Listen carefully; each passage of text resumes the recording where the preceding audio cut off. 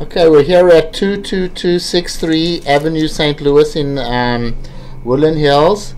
We've got the camera in from the 4-inch cleaner located at the front door.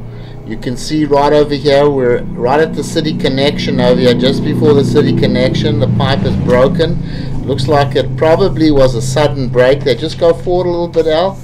Yeah, you see it's pretty broken over here. And uh, this looks like it probably happened very suddenly. Okay, let's pull the camera back from here. We've located that in the street. As we come back, there's some minor roots over here.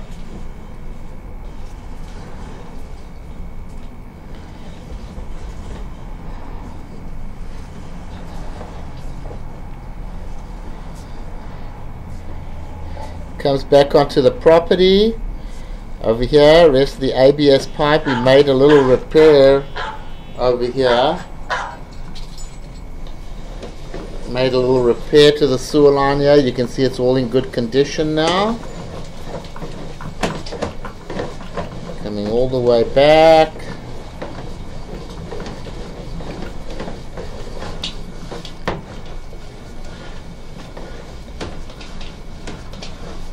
Okay, so here we go out of the clean out over here front of the house and we'll go ahead and stop the recording over here